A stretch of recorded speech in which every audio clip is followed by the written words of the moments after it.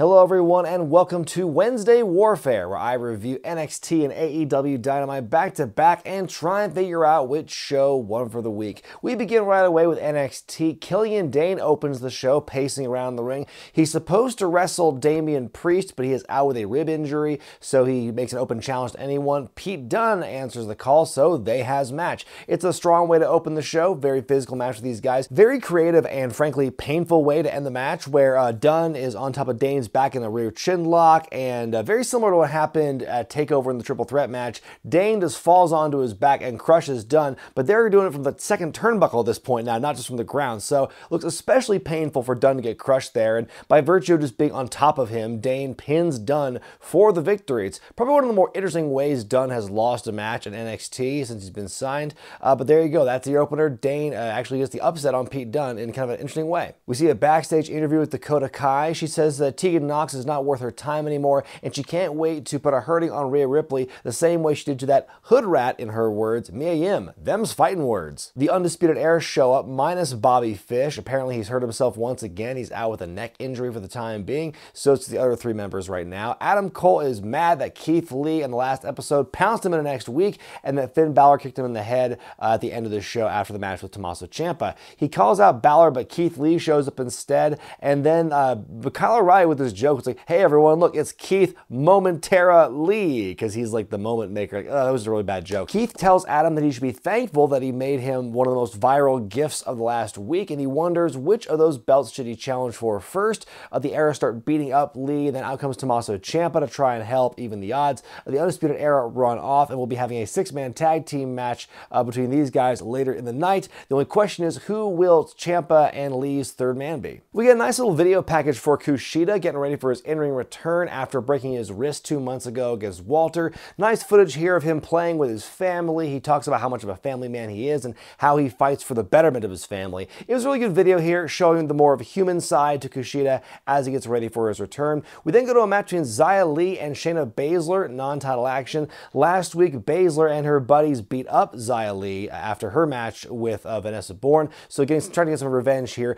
Xia does get a couple of moments to shine, but ultimately Shayna wins pretty handily with a Kirifuda clutch. Kassius Ohno is back at NXT USA for the first time in several weeks. He calls himself a wrestling genius and the greatest British wrestler alive, and he wants to bring a preview of Worlds Collide to NXT tonight. I hope it's the round system. I feel really good about the round system. The Forgotten Sons taking on Leon Ruff and Adrian Alanis from Evolve in tag team action. It's a squash match. The Sons win pretty handily. Then afterwards, just for good measure, Jackson Ryker chokeslams Ruff onto the apron on the outside, so he falls out. Pretty nasty bump. It's the best the Forgotten Sons have looked in weeks. Dakota Kai is scheduled to take on Rhea Ripley in singles action. I love that Dakota's entrance video is just her footage of her beating up Tegan Knox at War Games in black and white. That's just a great, great heel heat right there. Uh, Rhea comes out and says, you know, you set us up at War Games, so we got to set up of our own. It's Mia Yim. She comes out and starts beating the hell out of Dakota, chases her off. They escape the arena while they're fighting. Then out comes Shayna Baszler and her friends Jessamyn Duke and Marina Shafir. The three of them beat down Rhea, and like the uh, the two goons hold down Rhea's arms while uh, Shayna's got the Kirifuda clutch locked onto Rhea. It's really powerful stuff. And then Shayna says, you know, in two weeks they are going to have a championship match. So December 18th, that is the show that both AEW and NXT are heavily building toward based on what we see in tonight's programming. That should be a really good match. This segment was really good because it makes Shayna look like just absolute uh, killer and also makes Rhea look strong because it took three women to take her down. Backstage, we see Tommaso Ciampa and Keith Lee being interviewed. Who's the third man going to be in their six-man tag? Why? It's Dominik Dijakovic. And then we see a couple of hype packages. One for Finn Balor where he tells Adam Cole he's coming for his championship, and then another hype package for Isaiah Swerve Scott. Kassius Ohno making his way to the ring. Like I mentioned, the first time he's been on NXT regular in several weeks, having a stint in NXT UK, and he finds an old rival in Matt Riddle answering his open challenge, and this is just a great match. These guys have a lot of history together, uh, just a great combination of the striking and the technical prowess between the both of them. Ultimately, Riddle wins with the bro Derek, and so uh, Matt Riddle continues his unbeaten streak against Kassius Ohno, but great match nonetheless. Kushida versus Raul Mendoza will not be seen tonight as Cameron Grimes appears and jumps Raul during his entrance. So we get Cameron Grimes versus Kushida instead. It's a relatively short match, but it's solid. Uh, Kushida wins a very competitive matchup with a roll up. You know, it's a good return for Kushida. He looks great here, though I question why they had to sacrifice Cameron for this one because I feel they've been doing a pretty good job trying to protect him over the last couple of months. So for him to be a last minute replacement in this matchup, even though he looked okay in the matchup, he still lost. It just seemed kind of a weird thing to have him be the one to be sacrificed for Kushida's return. We get a nice little recap of the Lio Rush Angel Garza feud, and they announced they're going to be having a Cruiserweight Championship match in two weeks. Then in our main event, we have the Undisputed Era taking on Keith Lee, Dominik Dijakovic, and Tommaso Ciampa in a six man tag match, kind of like a little PWG reunion. It's basically the War Games match, only not, and with fewer people. The match ends when Finn Balor shows up to dropkick Adam Cole, and in doing so, we get a referee bump, people go down. Keith Lee shows up and puts the Spirit Bomb on Finn Balor, then a jackhammer to Cole to win the match for his team. Then after the matchup, William Regal shows up and says, okay, in two weeks' time, Adam Cole's defending the NXT Championship against the winner of next week's triple threat match between Tommaso Ciampa, Finn Balor, and Keith Lee. So that should be a great matchup. And it really seems at this point they're really strapping the rocket to Keith Lee. In the words of Cultaholic, don't you forget about Keith. AEW opens up with a six man tag match as the Young Bucks and Dustin Rhodes, who's wearing some Bucks inspired attire tonight, taking on the Inner Circle, Sammy Guevara and Proud and Powerful. There are some audio issues throughout the bulk of this match, which do improve by the end, by, by as the broadcast goes on. But this first match, kind of distracting in the audio issues. It's a fast paced, frenetic matchup. Dustin even takes the air more than one occasion during the whole thing. The match ends when Sammy's trying to vlog a shooting star press from the top, but he gets intercepted by two super kicks from the Bucks. Then a really interesting like double tombstone drop kick senton splash. it was a really impressive looking spot here. The Young Bucks and Dustin Rhodes win. A good way to open the show. Trent Beretta taking on Rey Fenix here. I loved this match. This is one of my favorites of the night. Uh, both guys looked great here. Some awesome athleticism on display. Uh, great call by Schiavone in the matchup here. There's a near fall and Schiavone goes, we all thought it was over. Even Orange Cassidy. He moved a little bit. Ultimately, Fenix wins with his spinning muscle buster. But yeah, great look for both these guys here. And of course, Rey Fenix just continues to blow me away every week. Cody is in the ring now to discuss some of his more recent drawbacks in AEW. He talks about the Butcher and the Blade and the Bunny and even brings up their past in Beyond Wrestling and Bar Wrestling. Nice little name drops there. He then turns his attention to MJF, who calls him, he, he refers to him as a Bush League NWO Chris Jericho, says his scarf is probably fake. He says he's the worst looking crossroads in history. At least they're botching it on two channels now, Cody says. And he wonders what will it take for MJF to wrestle Cody? Will be his car, his watch, his shoes, a briefcase full of cash? He even gives a hundred dollar bill to like this kid in the front row who looks absolutely thrilled about it. And so that's pretty much where it ends. He just basically he drops the he, throws he lays down the gauntlet, so to speak, for MJF. So strong promo by Cody here, a little bit of uh, humor thrown in there as well.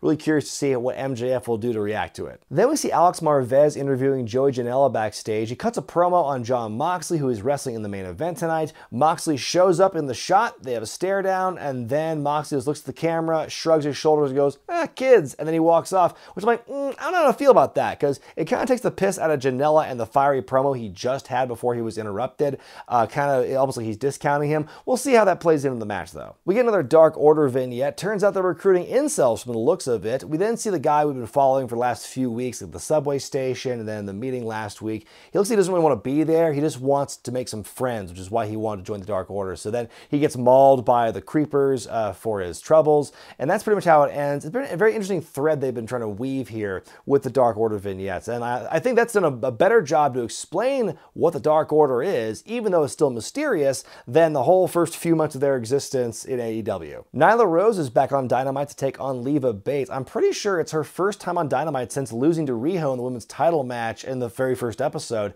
Uh, they show a recap of what happened last week when Nyla beat up Shanna at an autograph signing, and Jimmy Havoc just stood there not doing a damn thing about it. Uh, Nyla destroys um, Leva Bates and Peter Avalon in pretty short order, and then as the commercial break is about to happen, Shanna shows up, Nyla cuts her off, beats her down, and Nyla grabs a table during the commercial break, power bombs the referee through the table, and then power bombs Shanna onto the referee in his prone body. And after that, we cut to a shot of Britt Baker in the crowd sitting there looking concerned. It's like a blatant parody of the end of War Games when after the air raid crash, we cut to a shot of Britt Baker, who is Adam Cole's girlfriend, and so she's there in the crowd. And like, did you really need? Did you feel the need to like really copy that shot? And not to mention, if you're comparing like big spot to big spot, Nyla Rose powerbombing Shanna onto a referee who's on a table is not nearly the same amount of impact as uh, Ciampa doing the air raid crash from the top of the cage to get Adam Cole through two tables. They are not comparable in any way whatsoever. So it's just kind of weird they brought Britt Baker to do just that. Like it's a little kind of wink, get it? It's you know, it's a whole poking the bear thing, going after NXT by name and doing these blatant things. You know, don't really know how I feel about that, but I lean on the side of don't do it. It's one of my Wednesday night highlights, Chris Jericho promo time. He talks about how they've already sold 12,000 bottles of a little bit of the bubbly in the first week. Uh, two of those are mine, by the way. I'll be doing a taste test when I get them in a couple weeks. Anyway, he says he needs an opponent for his uh, last match of the year on December 18th. So he's put together a little list, he says, which is a big pop from the crowd. He shuts them down since it's now called the Lexicon of Le Champion. Brilliant. So it's a list of people he will not be facing in two weeks. Moxley is chief among them. His name shows up the most. He's a lot of kind of joke names in there as well. Finally, the Jurassic Express show up, and then Jericho says, "Oh, dinosaurs and small children also on my list of people I'm not wrestling." So then uh, Luchasaurus cuts a bit of a promo, and then they basically defer to Jungle Boy as the person who wants to fight Jericho, and uh, Jericho calls him a, a mute and a piece of shit, saying, "You know, you wouldn't last 10 minutes with me." Jungle Boy grabs the microphone and says, "I would last 10 minutes, and I'll kick your ass." So they has fight. Jericho and Jake Hager run off,